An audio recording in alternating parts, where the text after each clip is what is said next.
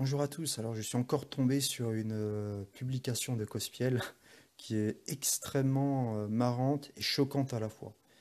Donc, c'est sur une ses publications Instagram qu'il a posté il y a plusieurs années déjà, où il dit Notez bien ce que je vais vous dire. Il faut vraiment faire attention. Dieu confirme que dans moins de cinq ans, nous prêcherons au Stade de France. Il sera rempli, débordant, les âmes se convertiront par milliers et nous comprendrons enfin la symbolique du coq français, le réveil. Je fais de ce stade mon nouvel objectif. Location 300 000 euros par jour. Avec Dieu, c'est possible. Et en plus, il a le culot de mettre un verset après. Luc 1, 37. Car rien n'est impossible à Dieu. Nous le ferons, n'importe quoi. Cet homme, c'est un, un malade. C'est un malade. Je suis je suis obligé d'être objectif. Il faut appeler un chat un chat. Il faut être malade pour écrire ça.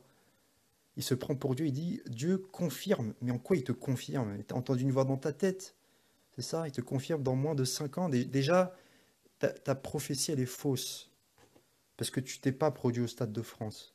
Donc, quelque part, dans ta logique, tu fais de Dieu un menteur. Voilà, Dieu, il t'a dit, mais en fait, il ne fait pas. Donc, tu fais passer Dieu pour un menteur tu ne t'arrêtes pas à la Bible, tu fais croire que Dieu parle au-delà de la Bible. Tu vois, on voit en plus les conséquences que ça de, faire parler Dieu au-delà de la Bible. Ça, aboutit à des mensonges. Voilà. Euh, il prévoit un stade rempli, débordant, les âmes se convertiront par milliers. Il n'y a pas de stade rempli, ni débordant, euh, ni d'âmes qui se convertissent par milliers. Il y, a, par contre des âmes qui, tombent par terre, il y a des âmes qui croient en l'évangile de la prospérité, il y a des âmes qui croient qu'ils peuvent déclarer des choses dans leur vie, qui croient qu'ils sont des petits dieux. Ça, oui, il y en a. Ceux qui vous suivent, ils croient en ça. Mais il n'y a pas vraiment des, pas des vrais convertis. Hein. Voilà, nous comprendrons le, la symbolique du coq français. Alors, je ne sais pas pourquoi il ramène le coq français là-dedans. Je fais de ce stade mon, mon nouvel objectif. Hein. C'est lamentable. Lamentable. Location 300 000 euros par jour.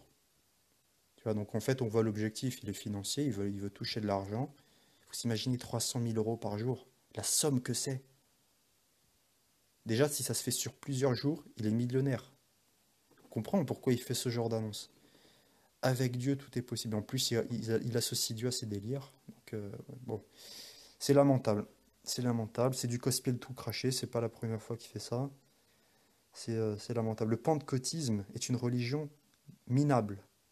C'est une religion minable. On voit les comportements qu'il y a derrière cette religion. Euh, voilà, c'est une religion minable, lamentable, plein de menteurs, d'escrocs, de gourous qui vous, qui vous font miroiter des rêves comme ça.